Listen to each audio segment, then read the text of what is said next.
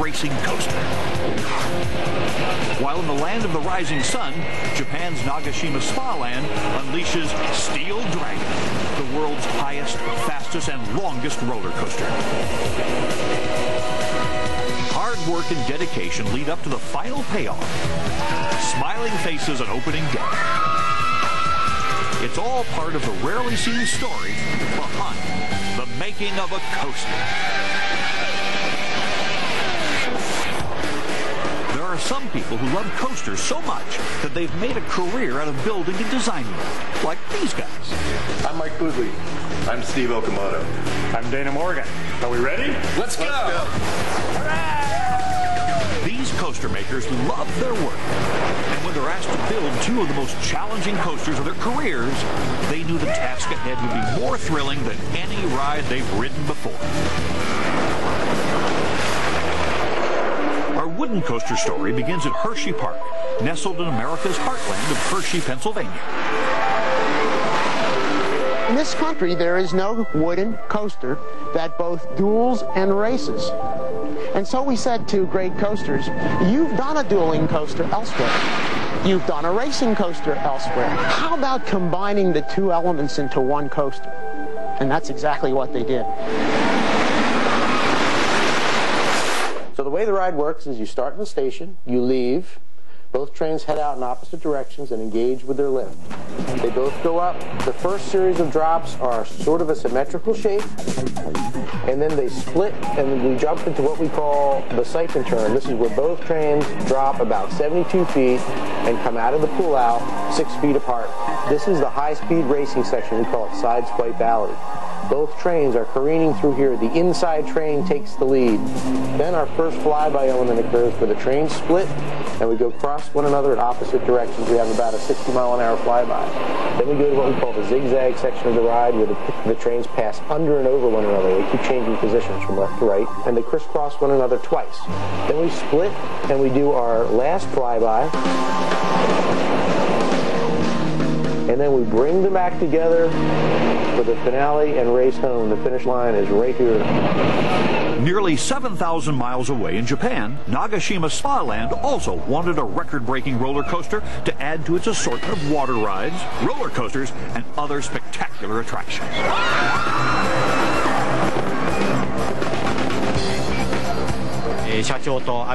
I accompanied our president to the United States.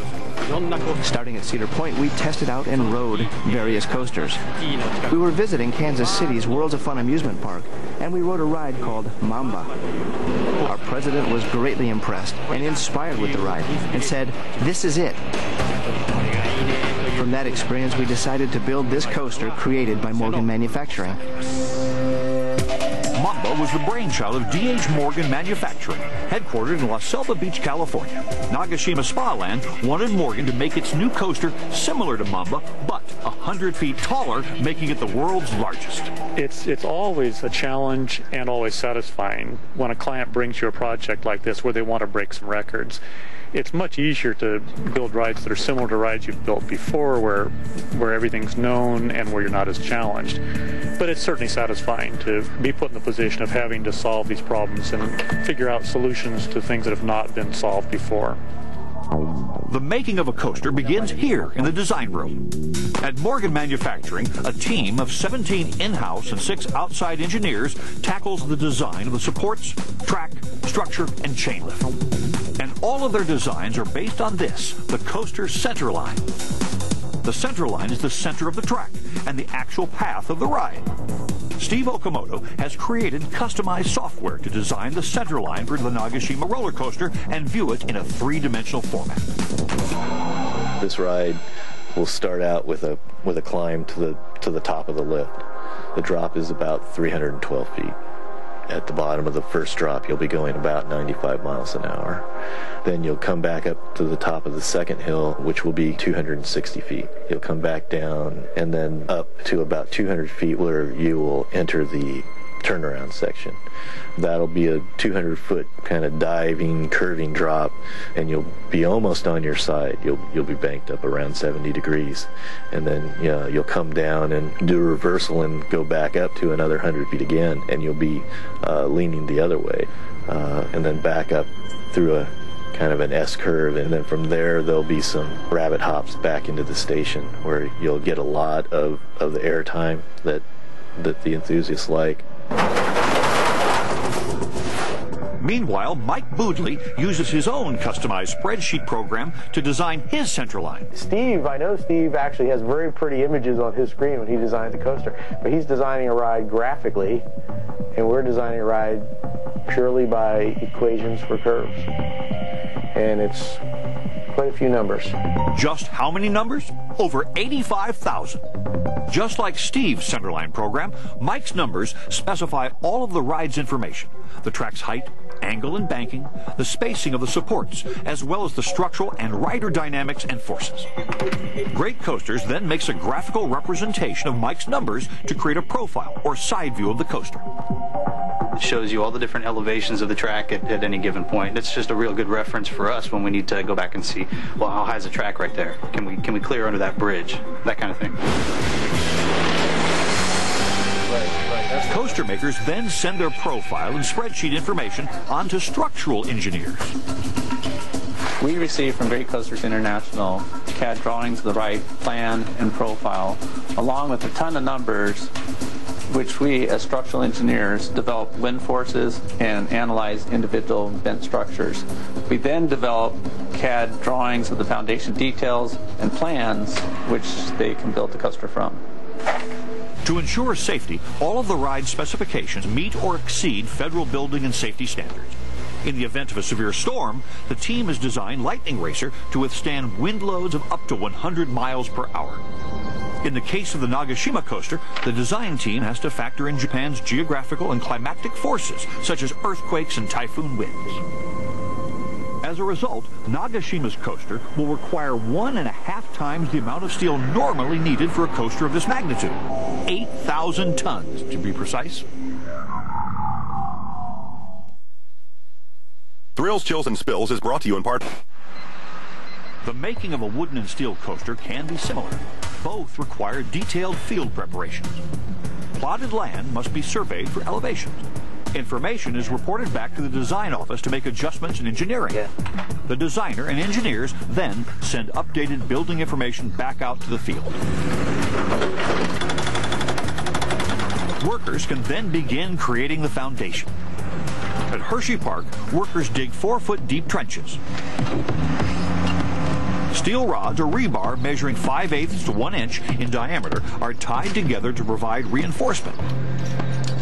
Cement is then added. The finished product is called the strip footing or strip foundation. It will provide one continuous form of support for the wooden framework of the coaster. After we pour the concrete, we place our pedestal, we backfill everything. So basically just all we have is a little pedestal sticking out of the ground. As many as 90 workers, two-thirds of them local, and 4 million pounds of lumber will be required to meet the nine-month construction schedule. There's over a million bolts and over a million nuts, not including the crew. Mike Boodley comes to the site to check on his design. But when I got to the site, I was I was very excited to see all the piers in the ground. You know, this ride has over 1,000 bents in it. There's probably about 4,000 pedestals. We're probably about 75% of the way there on foundation.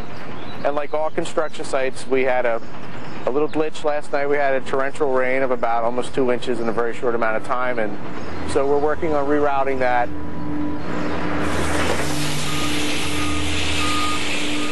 And um, luckily, that's Claire's problem. because of the rain, we had to pull the rebar back out of this ditch again, redredge it, and take 6 to 12 inches probably out of the bottom to find a good hard surface again. And then we'll have to relocate the rebar back in there and then to pour it. So we've lost a few days because of this. Behind closed doors, Hershey Park management brainstorms a winning name for its new attraction. Fast track. Fast track. That's good. Dual racer, double dare. Racer. Oh, that's Speed racer, dual racer. Like we could come up with any name to go in front of racer. The team produces a list that it will pass on to the park's top brass. Hey, thanks everybody. Really appreciate it. Thank you. You're awesome. Hershey Park organizes a press conference to announce its new attraction. For the year 2000, we're going to unveil this morning, and it gives me a great deal of pleasure to do so, our brand new wooden racing dueling coaster called Lightning Racer.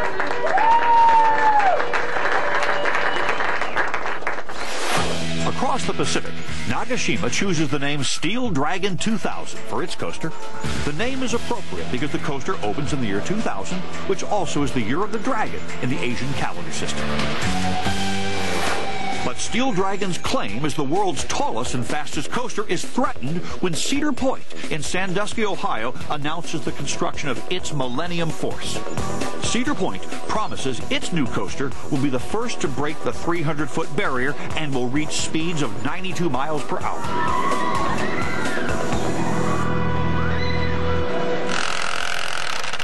Back at Hershey, the crew begins constructing the structure, which will eventually support the coaster track.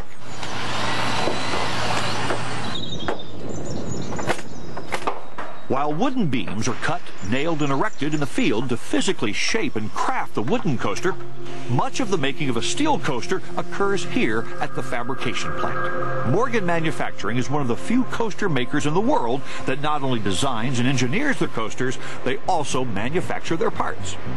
The process begins here on the computer, where design team members can take any section of the track, anywhere on the ride, isolate it, and print out building specs for the shop. In the fabrication yard, giant steel pipes are cut to specification. These pipes are called the backbone of the ride because they will be used to support the coaster track. The flame cutter must reach temperatures of up to 1600 degrees Fahrenheit to cut through the 24-inch pipe. Machine, we have a burn template, which is a paper template with an outline of a part. We've got a photo eye that follows the shape of the part. We've got a torch on this end that cuts that same shape in the steel. Because some track pieces are curved and not straight, workers roll pipes through a bending press. Some pieces require several passes to achieve the desired curve. Over a radius of 200 feet, we can be within, you know, an eighth inch arc depth, so it's a very accurate process. Scribbles that look like graffiti tell an important story. Signatures indicate a part has passed the quality control check, while other writing details direction of track and segment numbers, so assemblers and welders will know what pieces need to be assembled with each other. Thin surface rust covering the steel actually protects the metal during the fabrication process. We take all the rust, all the, all the contaminants, all the oils, everything off in the blast room here. The sand is pushed out of the nozzle at about uh, 90 to 100 pounds per square inch. You wouldn't want to get your hand anywhere near it. It really hurts. Next, the track is primed, painted, and then top coated.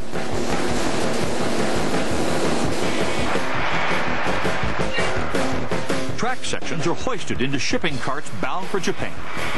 Each section weighs 7,000 pounds and is marked with an identification number, so it will be assembled in its correct order on the construction site at the park. How does the Morgan team know it will accurately fit the other sections at the construction site in Japan? The way we do that is that we build a section perhaps 150 feet long that'll be made up of four or five or six different individual sections. Once we're done, the last section from that setup is disassembled and that one comes over here and becomes the first section of this one and then we build on out again. So in essence we build the track continuously. We actually can start any old place in this ride. Like you can see here, we started here, in this area, we stopped, and we started down in here.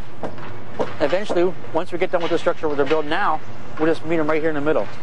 Engineering feats like this are accomplished thanks to specialized surveying equipment, like the transit device used by field engineers. Site survey and coaster drawing data have been downloaded into the transit device, so when any two known points in the field are located and input, the transit can verify if any part of the structure is perfectly vertical or off base and needs correcting. I can do anything. I shoot elevations, I program in the height of this pier, the height of the instrument from the pier, and it'll do all the math for you and tell you how high that pier or anything else is on the ride. Measuring tools and laser tracking devices are also used to ensure accuracy of assembly for sections of track that will ultimately be located 300 feet in the air. This yard, although it just looks like a, an ordinary paved yard, is actually calibrated. There are a series of uh, monuments. They're casting concrete in the ground. And with those, we can find any point on the ground. And if you'll notice that they, they have points over here where there are actually nails driven into the ground. And those are very precise points that engineering has predetermined for them. And then in addition, we have a laser leveling device that's mounted in concrete and gives us a laser field over this entire area. And then they have a laser receiver that allows them to check the elevation of the bar. So they can find any point in space in three dimensions to a very high accuracy anywhere in this yard. So what they're doing is going through and looking at every point, every tie point on this, making sure that they're all correct and that all of these elements are aligned correctly to each other. And hold it right there. That's on the money. On May 13th, 2000, Cedar Point opens Millennium Force. Its height of 310 feet and speed of 92 miles per hour become world records. The next day, Nagashima Spa Land places the crown track section onto the lift hill. The crown section is literally the top piece of the coaster. When we placed the crown on the Steel Dragon, that made our coaster the tallest coaster in the world. The park schedules a press conference to share Steel Dragon's ride vitals with the public. Steel Dragon 2000 will tower 318 feet in height, taller than the Statue of Liberty, and will beat Cedar Point's record by 8 feet. Its first descent is angled at 68 degrees. The Steel Serpent's track will measure 8,133 feet long, which is more than 1.5 miles. If Steve Okamoto's calculations prove correct, Steel Dragon will achieve speeds of over 95 miles per hour. Thrills, chills, and Pick up the track. Bents are made up of two legs tied together with horizontal and diagonal boards. On top of those legs, a horizontal ledger is built. That is where the track will be laid. To build the track, workers secure multiple layers of wood. Tracking will take four to five months to complete.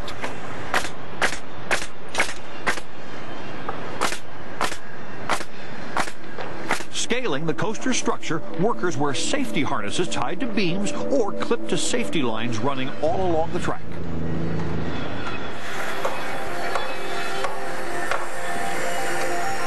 This is a finished laminate track that we're at. You got your eight layers, bolted, it's eh, nailed. We're ready for the steel track to be installed. The wood track, it's a piece of steel on the top and on the sides, and in some places where you're going to get some airtime, it'll get a piece of steel underneath. Three months before opening day, Steel Dragon's construction accelerates at a rapid pace. Coaster track received from Morgan Manufacturing will ultimately be raised onto each of the coaster's 300 support columns and 800 footings.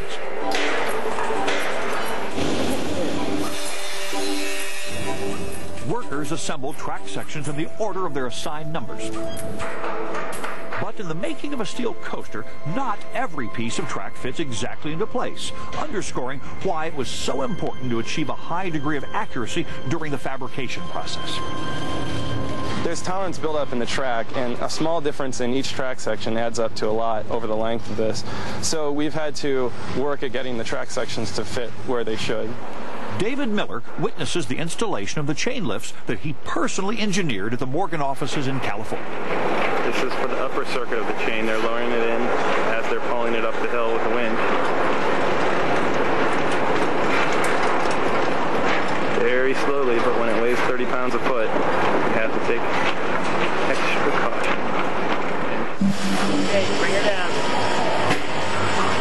Morgan Manufacturing is one of the few coaster makers that designs and fabricates its own coaster trains. Because the ride is so much taller and therefore so much faster than any coaster that we've done before, we've designed and are creating complete new trains for the ride. George Olson uses a CAD program that allows him to draw details of the coach in a three-dimensional format. The cars feature the traditional three-wheel configuration that ensures each 80-foot train will stay on the track. This is right here, this is the uh, in view of one of the track rails. And this green up here is the road wheel, main wheel that it rides on.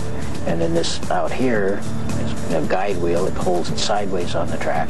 And then this down here is the upstop wheel, which keeps it from coming off the track. George's engineered designs ultimately end up here in the prototype shop. So George has printed a full-sized nose here. Now Bob's going to use that to, to, as a cutout to begin to get the shape. The prototype helps the design and engineering teams verify dimensions, spatial relationships, and address clearance issues. George Olson oversees the construction of all three trains.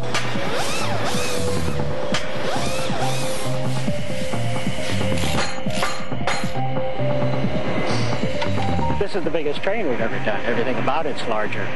The, the hitch balls and the wheels, everything's so big.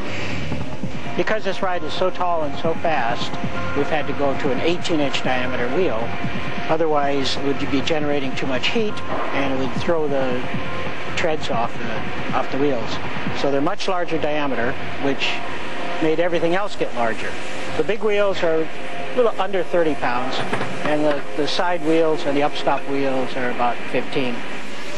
Weight is the enemy on this thing. If, if the train, as is with people, weighs close to 20,000 pounds, and if we pull in three and a half Gs, that's 70,000 pounds of load that we're putting into the structure. Lightweight fiberglass panels are fabricated to help reduce the overall weight of the trains. What we've done on the nose section is that because we are going so fast, that we actually had it fair and fair up as a wind deflector to get the wind to try to go up over the people.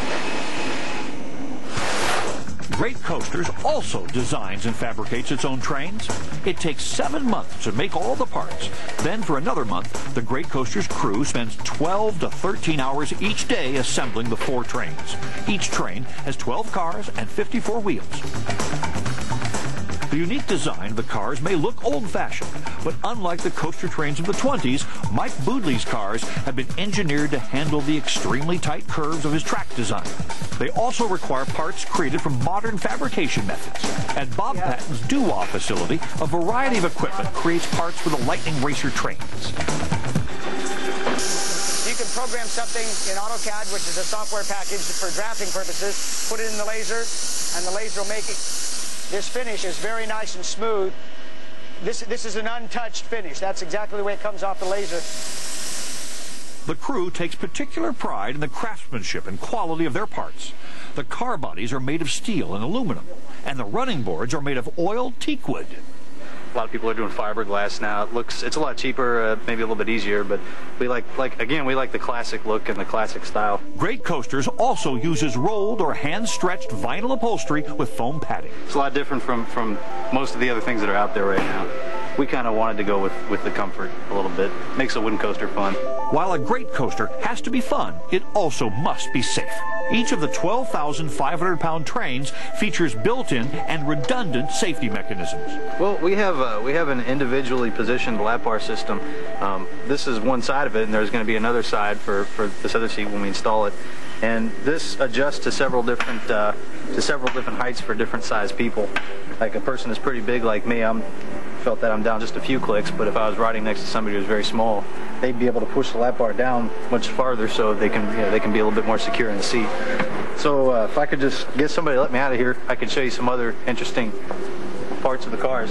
Somebody can just let me out of here. Anybody? After the Morgan trains arrive at Nagashima Spa Land, they're hoisted into the transfer track section.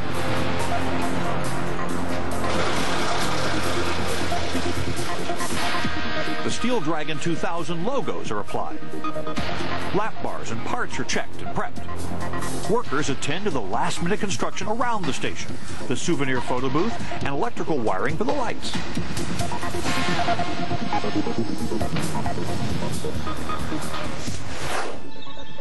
At Hershey Park, construction of the Lightning Racer is complete. The 90-foot lift hills are ready to race, and the 68-foot turnarounds are ready to duel. And this is the finish line. The finish line is the moment of truth when riders find out which train won the race. All right, this is the end of the ride. The, both trains have just done their final flyby. They come barreling up. They get right next to one another on this double drop up. They come up, up the double drop, and they come racing for the first set of brakes.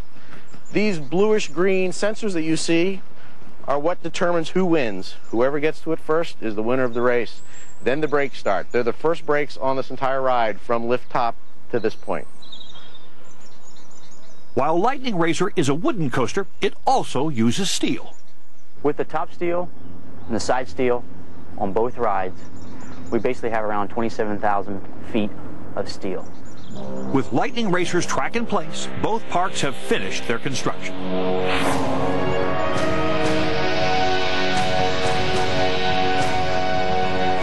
The next step is to test them out.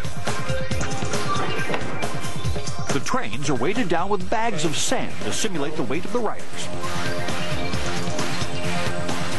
Because the wheel bearings are stiff and need to be broken in, the first train runs are slow, but hopefully not too slow. Hopefully Claire and I won't be crying because it could get stuck. Good luck, Claire. From the second the trains are dispatched, computers underneath the station receive vital information from sensors in the station and on the lift hill. Okay, what you have here is inputs that is out on the actual track. It lets us know, or the ride know, where the train is at all times. At the same time, it also operates brakes out on the ride, and it will also let you, or it won't let you, dispatch a train, depending on where the other train is at. It is ensuring your safety at all times. Up on the loading platform, another set of controls governs the safety and smooth operation of the ride.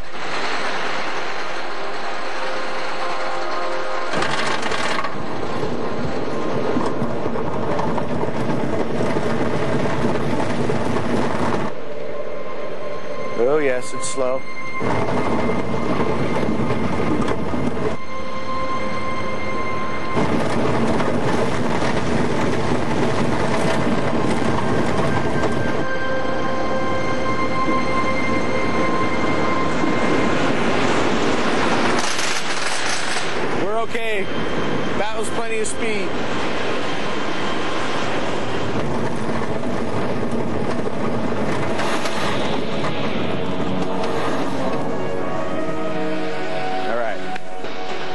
Congratulations.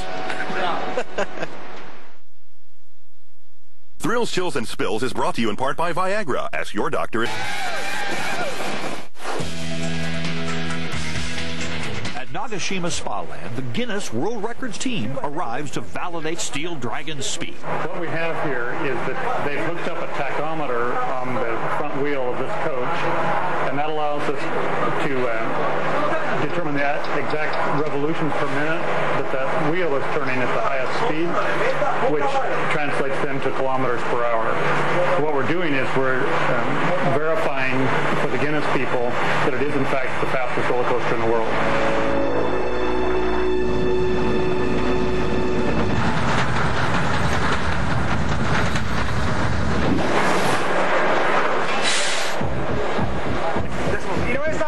Calculations from these tests prove to Guinness that Steel Dragon achieves 95.29 miles per hour, a new world record. Meanwhile, Great Coasters contracts GMH Engineering to conduct dynamic testing aboard Lightning Racer, which requires an accelerometer and a dummy named Fred. But Fred is no ordinary dummy. We have a neck sensor in Fred, and uh, we can measure the forces uh, that a, a passenger would experience uh, from the dynamics of the ride. The collected data verifies Mike's projected speed and g-force calculations, and that Lightning Racer falls within average safety limits. While Fred confirms the math and science of the design were correct, the dummy fails to tell the coaster makers if Lightning Racer has passed the fun test. That will have to wait for opening day.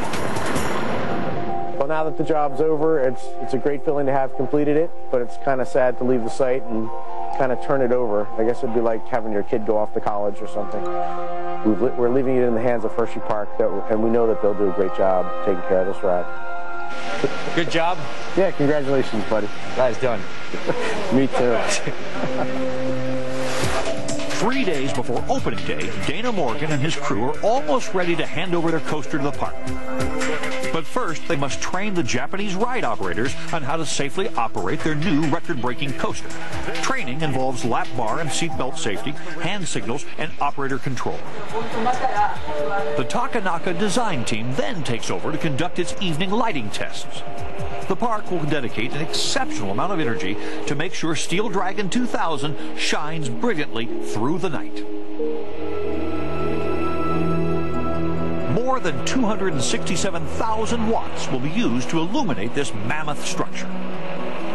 Steel Dragon 2000 is not just the world's largest coaster, it also may be the world's brightest.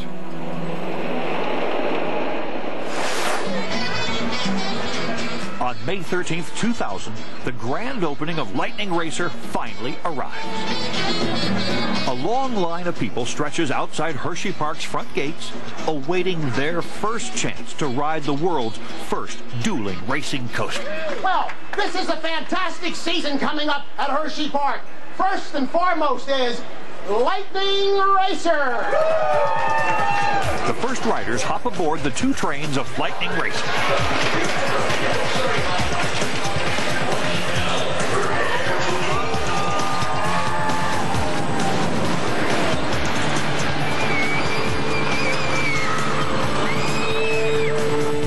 Screams and smiles say it all.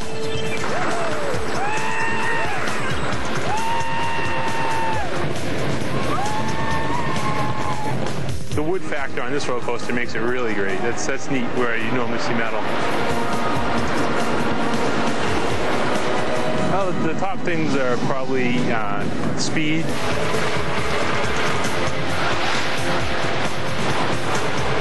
A lot of changes in direction. Dips and turns.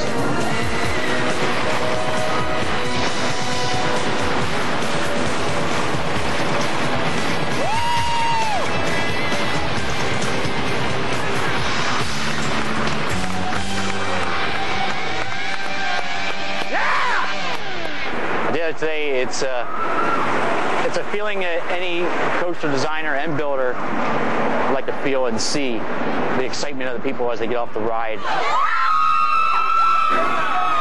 I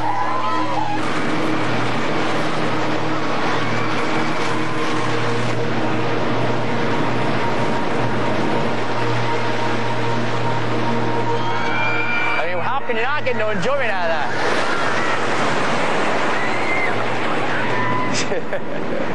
that? In Japan, opening day is handled a little differently. Nagashima Spa Land's events include a Shinto religious blessing, sake toasts, and the Guinness Awards ceremony. I have here the certificate of citation for that record, the world's tallest roller coaster being the Steel Dragon. Guinness tells Nagashima Spa Land owner Kimiharu Otani that Steel Dragon has achieved four world records. It has the longest drop and is the highest, fastest, longest continuous track coaster. Before they debut the ride for the public, the park's management and coaster makers lead the celebratory first ride aboard the world's largest coaster.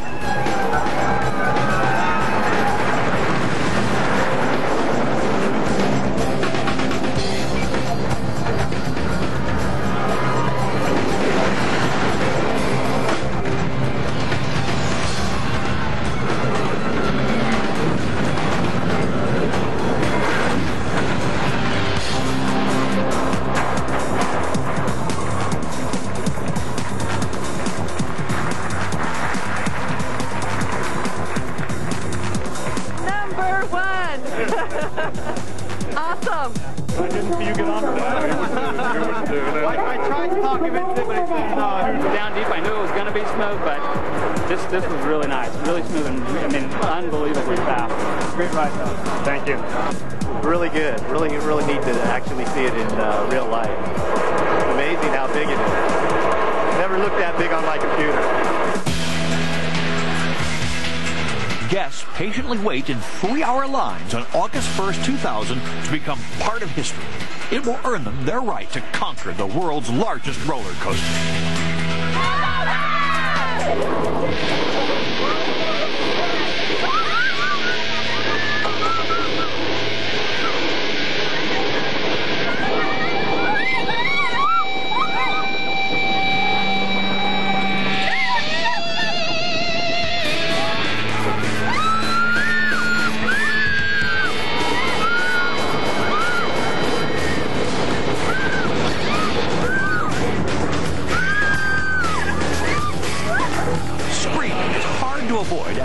After cresting the top of Steel Dragon. Its 68 degree drop generates extreme thrill.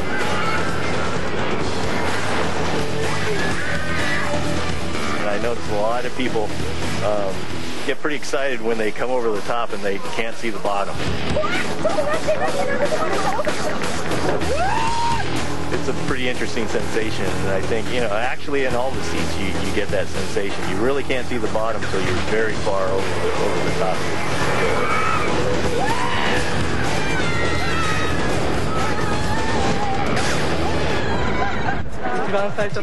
It was great. The first drop, that was the best.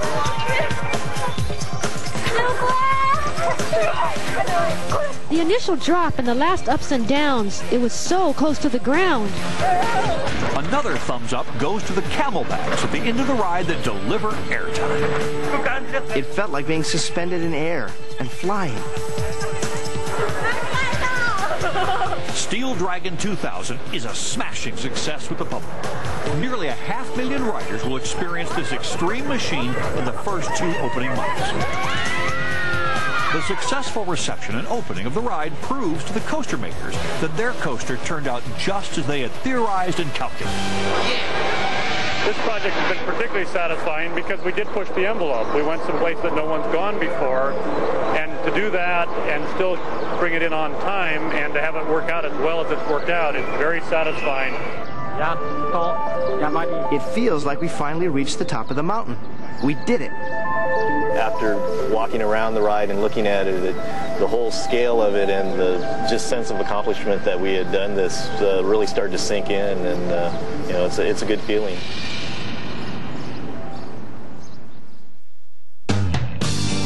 Coming up next, Thrills, Chills, and Spills goes behind the scenes of Scream Parks. Then climb aboard some of the world's most outrageous and extreme rides. Seat ride with their makers. First up, Lightning Racer, where the heaviest train wins. Well, this is it. Nine months of building, and we finally get to enjoy the fruits of our labor. Lightning Racer's up and running. Mike and I are here today. We're racing each other. I'm on the Thunder side. My buddy and friend players over there on Lightning. Basically, it's a builder against a designer. And uh, we knew this race was coming up, so we've both been putting down a lot of food, trying to increase the old weight factor, you know. But I think I still got Claire beat. I come home last night from McDonald's with a cheeseburger and french fries. I came home last night with 10 Big Macs, a couple large fries, and a large steak and large drink. And we're rounding the top. So here we go. We're going down the drop hill. Hey,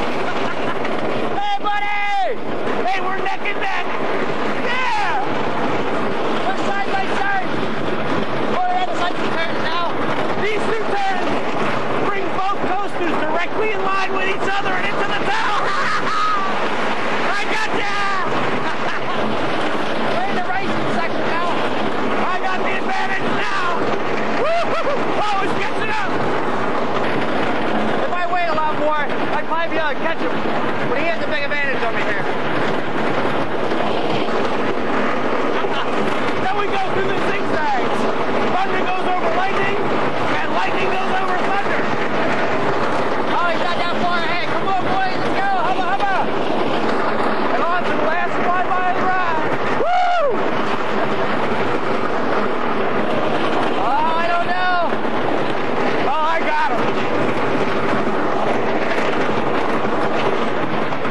he beat me by two train lengths. I got him. I beat you. You need a desk job so you can put on some weight, my friend.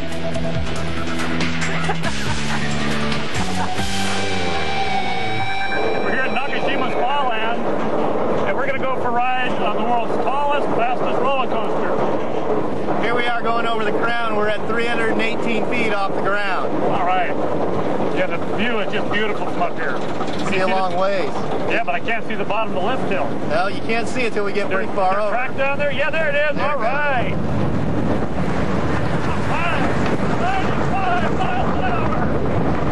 Going up the second hill, floating over at 240 feet. A little slower up there, that's nice.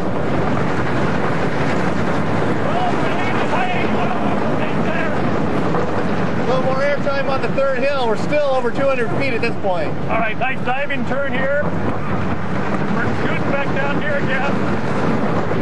And back up.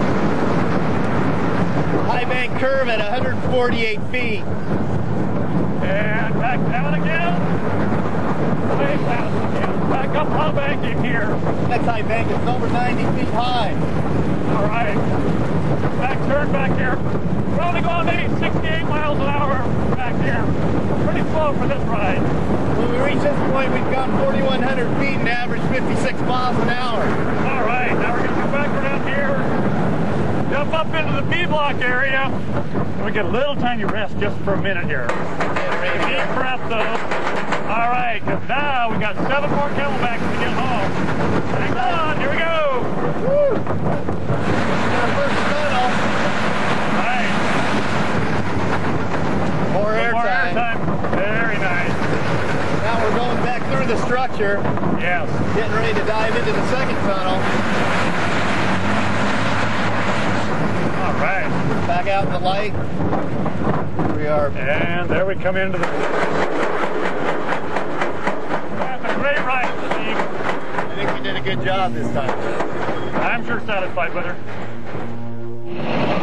From design until the end of construction, the making Lightning Racer has consumed nine months of labor, 341 miles of southern yellow pine, and $12.5 million. Steel Dragon has taken three years to complete from initial concept to opening day. 280 track sections and 300 supports were required to build this 16 million pound mammoth coaster. Price tag $52 million. But creating a world-class coaster requires more than money or materials. Making of a coaster for us is not, I don't know if people think that it's glamorous or anything like it, but, you know, I mean, the bottom line for us is, is it is uh, a lot of work. A lot of sweat. A lot of long, long, tiring days. I think most people don't realize what the entire scope of the project is. Perhaps don't understand how much engineering goes into it, and then how much total coordination is involved. First and foremost, we have to give a park a spectacular ride that people are going to want to ride. They're going to want to run around and get in line again. And we have to give them a very safe ride because millions of people will ride this ride from this day forward. Steel Dragon 2000 and Lightning Racer's unprecedented achievements appear to spell the end of their stories. Yet, coaster lovers around the world delight in knowing that the openings of these two giants herald the making of the next great coaster.